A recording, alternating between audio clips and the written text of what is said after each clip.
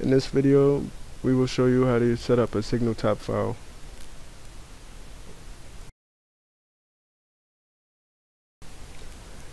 This here is how the schematic portion looks. You have an LPM up counter along with a 7490 chip.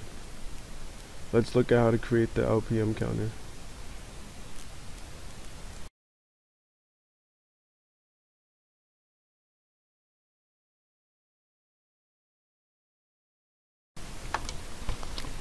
You want to set up a VHDL and name it here. We will name this hex 1.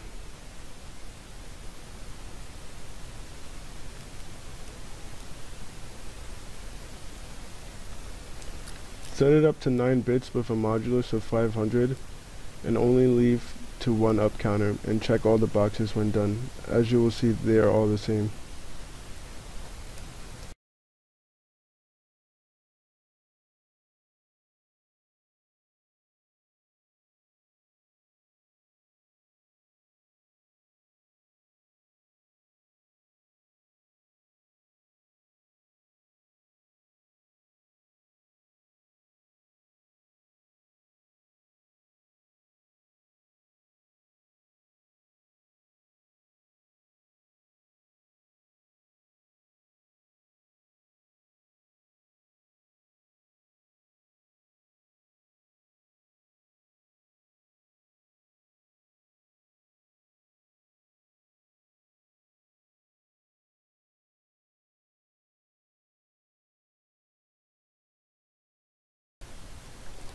Next is the 7490 chip.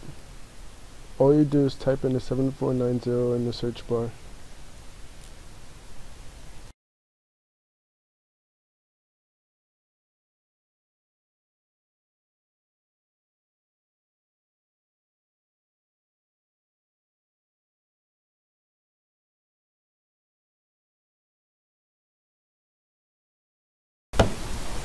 Now for the clock output, Make it a bus line and name it hex 8 down to 0.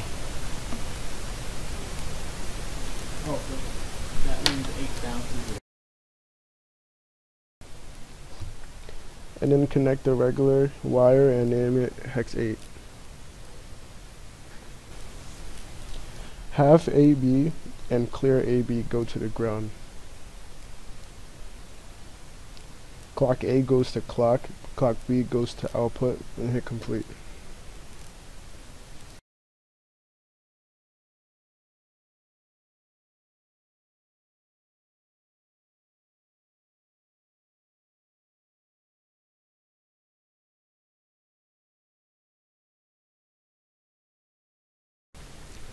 Once it's done compiling, you'll want to create a new file and select the SignalTap 2 option. You will need a DE2 board connected for these steps. First you will want to click on the JTAG and select USB Blaster.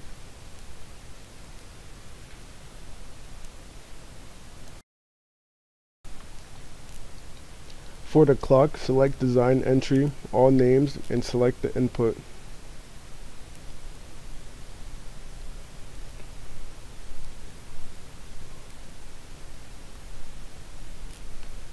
Put the sample depth level to the max.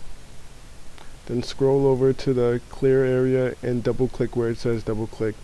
Select design entries, all names, and select outputs. Then hit compile.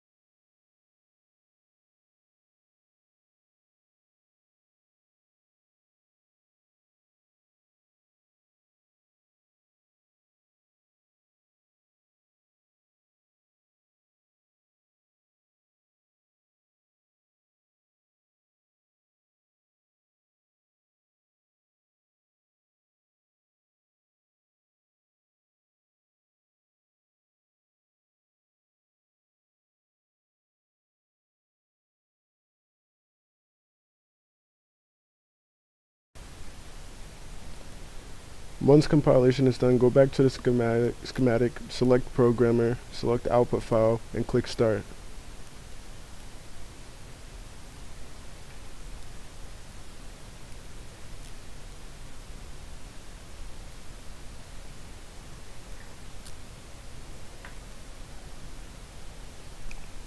Once done, you will go back to the SignalTap and click Analyze. This is the output you will get. Okay guys, and this is how you set up a signal tap in Quartus. Till next time.